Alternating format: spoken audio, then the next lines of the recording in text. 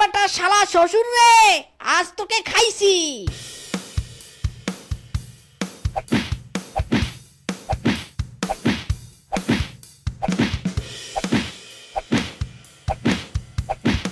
মিচকে যাবে শ্বশুর বাড়ি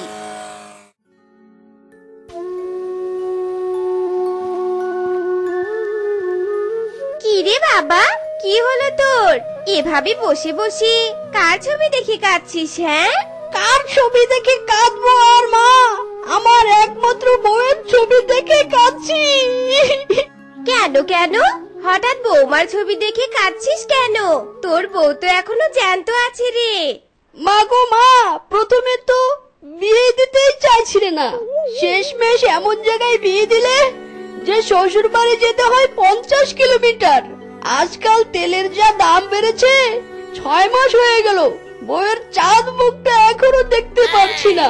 বউটাকে আনতেও পারছি না। কেন রে গোবর পোড়া? তেলের দাম বেড়েছে। তাতে কি হয়েছে শুনি? পা দুখানা তো আছে। পায়ে হেঁটেই চলে যাবি। মা তুমি এটা কি বলছো গো? পঞ্চাশ কিলোমিটার আমি পায়ে হেঁটে যাব? কি করে যাব এত দূর তুই সামান্য পঞ্চাশ কিলোমিটার হেঁটে যেতে ভয় পাচ্ছিস? জানিস তোর বাবা আমার সাথে দেখা করতে একশো কিলোমিটার পায়ে হেঁটে যেত। তার ছেলে হয়ে তুই বসে বসে কাঁদছিস। যা, এক্ষুনি বের হ বলছি। পায়ে হেঁটে দেখা করে আয় বৌমার সাথে। মা, তুমি ঠিকই বলছো। এবার বাবার লাইনটা ধরতে হবে। নয়তো এ জন্মে আর শ্বশুর বাড়ি যাওয়া হবে না। আর বউয়ের দেখাও পাওয়া হবে না। বউ, আমি আসছি।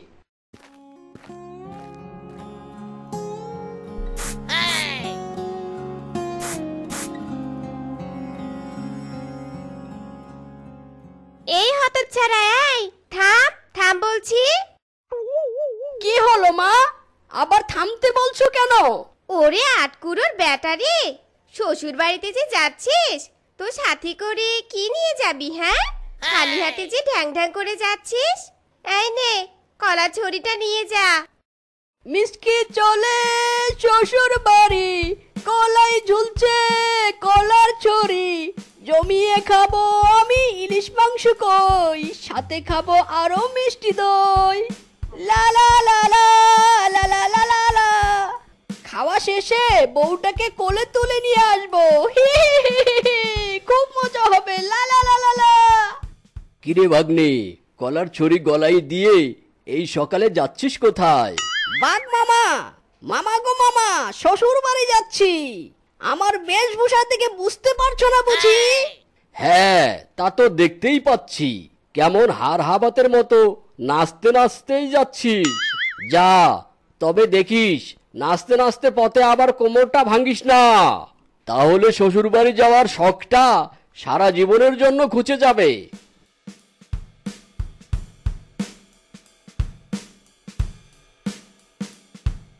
ওরে বাবারে বাবা, আমার কোমরের মাঝেটা গেল রে গেল।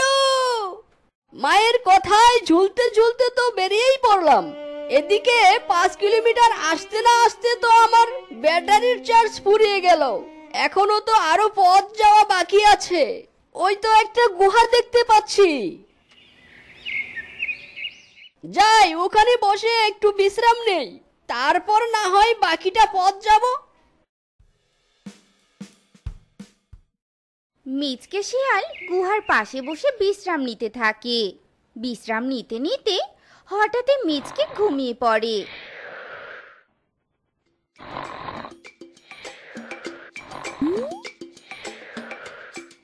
আর এই সুযোগে একটা বানর এসে মিচকের কলার ছড়ি নিয়ে পালিয়ে যায়।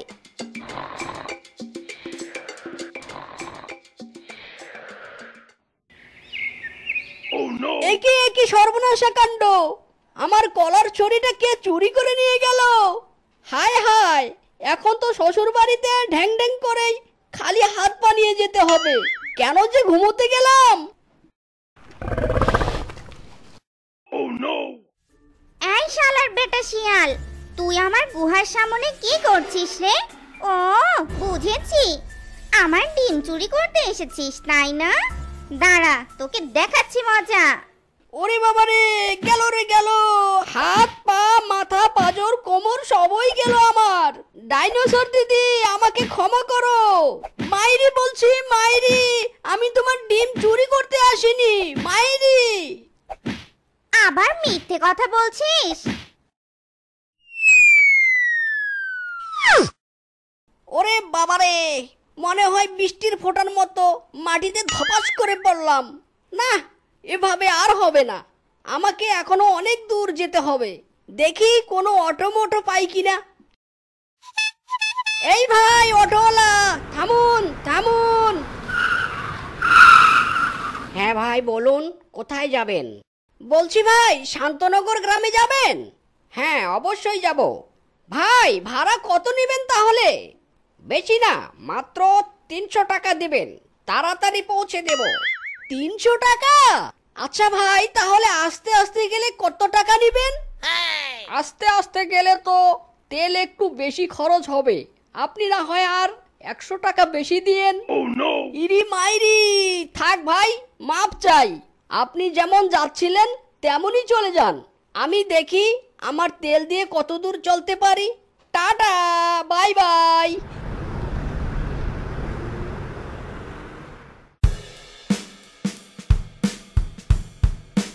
না, আমার পা দুটো আর চলছে না, বাপু। যাই, ওইখানে একটু বসে পড়ি। আর একটা কল দেখতে পাচ্ছি। একটু পানিও খেয়ে নেব। আহ! হ্যালো কে বলছেন? জি আমি টিঙ্কু ডাক্তার। বলুন কি সমস্যা? ও হ্যাঁ আমি বাড়িতে রোগী দেখতে যাই। বাড়িতে গেলে একশো পঞ্চাশ টাকা ফিস নেই আর চেম্বারে একশো টাকা। আচ্ছা ঠিক আছে। আপনি যখন ফোন দিবেন আমি তখনই যাব। রাখছি তাহলে ওকে? এই তো একটা সুযোগ। এই সুযোগ হাতছাড়া করা যাবে না। ডাক্তারবাবু ডাক্তারবাবু তাড়াতাড়ি চলুন আমার সাথে। বাড়িতে যেতে হবে। কেন? খুব ইমার্জেন্সি নাকি? হ্যাঁ ডাক্তারবাবু খুবই ইমার্জেন্সি আমার মতো ইমার্জেন্সি আর কারও নেই। আপনি তাড়াতাড়ি চলুন।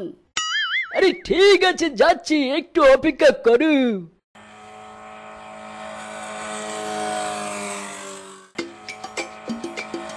ডাক্তারবাবু দাঁড়ান দাঁড়ান। কেন চলে এসেছি নাকি? আরে না না মিষ্টি নিতে হবে। এ, বাড়িতে ইমার্জেন্সি রোগী রেখে মিষ্টি দিয়ে কি হবে? আমি রোগীর জন্য মিষ্টি দিচ্ছি নাকি? আপনারা মিষ্টি খান না? এত দূর থেকে কষ্ট করে যাবেন মিষ্টি না খেলে হবে বলুন। ও আচ্ছা এই ব্যাপার আগে বলবে তো। আমার জন্য তাহলে এক হাড়ি কালো জাম কিনে আনো। কালো জাম খেতে আমার খুব ভালো লাগে। ও ভাই মিষ্টি কত টাকা পিস? দশ টাকা পিস। কেন? দুই টাকা পিস ছিল যে। এটা কে রে? দুই টাকা পিস তো দুই বছর আগে ছিল। এখন পর্যন্ত মিষ্টি খাননি নাকি? খেয়েছিলাম তো এক বছর আগে শ্বশুর বাড়িতে গিয়ে। তারপর আর খাওয়া হয়নি। ও এই জন্য দাম জানেন না। এখন সব জিনিসের দাম বেড়েছে। আর এখন গ্যাসের দামও বেড়েছে। তাই দশ টাকা দিয়েই কিনতে হবে। কেন গ্যাস দিয়ে মিষ্টি বানান নাকি? এ কোন গাধারাম আমার দোকানে এসেছে রে? আরে গ্যাস ছাড়া মিষ্টি বানানো যায় নাকি? ছি ছি না না তাহলে এই মিষ্টি খাওয়া যাবে না। গন্ধ করবে তো। আরে এই গাধারামকে কীভাবে বুঝাই? আরে গ্যাস জ্বালিয়ে মিষ্টি বানাই বুঝেছেন? ও তাই বলেন। ঠিক আছে তাহলে আমাকে মিষ্টি দিন। তা কয়টা মিষ্টি দিব? পাঁচটা মিষ্টি দিন। ওই শালাদেরকে বেশি খাইয়ে লাভ নেই। আর হ্যাঁ শুনুন। একটি বড় হাড়িতে মিষ্টিগুলো দিবেন। শ্বশুর বাড়িতে যাচ্ছি। একটা মান সম্মান আছে তো নাকি? সারা কিপটে জামাই পাঁচটা মিষ্টি কিনছে তার আবার বড় হাড়ি চাচ্ছে। এই নিন আপনার মিষ্টির হাড়ি।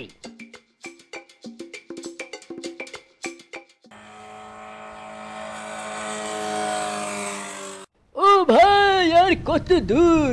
চল্লিশ কিলোমিটার তো চলেই আসলাম। এই তো ভাই আর একটু সামনে।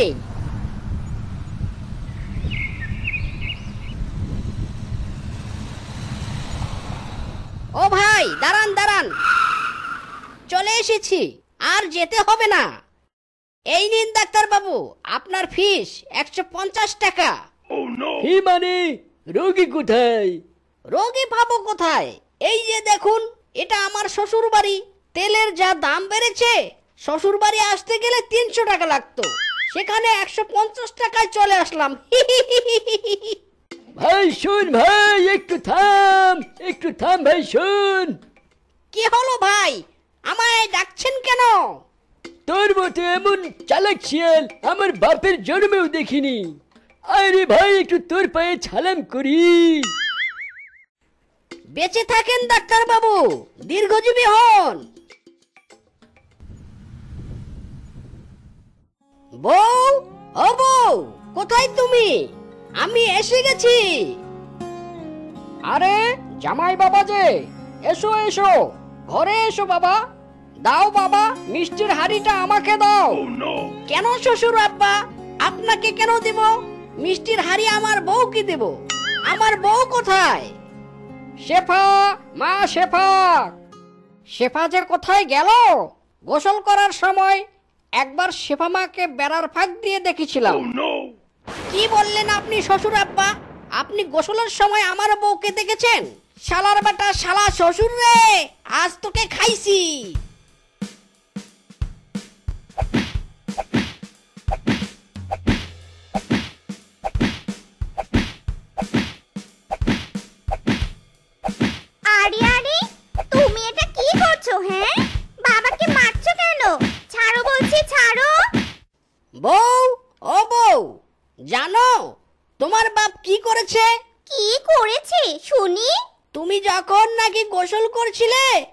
তখন বেড়ার ফাঁক দিয়ে তোমার গোসল করা তোমার বাপ দেখেছিল।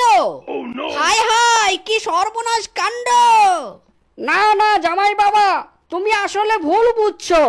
আসলে আমি ওটা বলিনি। আমি বলতে চেয়েছি যে আমি যখন গোসল করতেছিলাম তখন বেড়ার ফাঁক দিয়ে শেফামাকে বাইরে যেতে দেখেছি। কি? হাই খোদা এ আমি কি ভুল করলাম? একি জামাই বাবা তো অজ্ঞান হয়ে পড়ে গেল। শেফামা, ধর জামাই বাবাকে ধর, ডাক্তার আনা।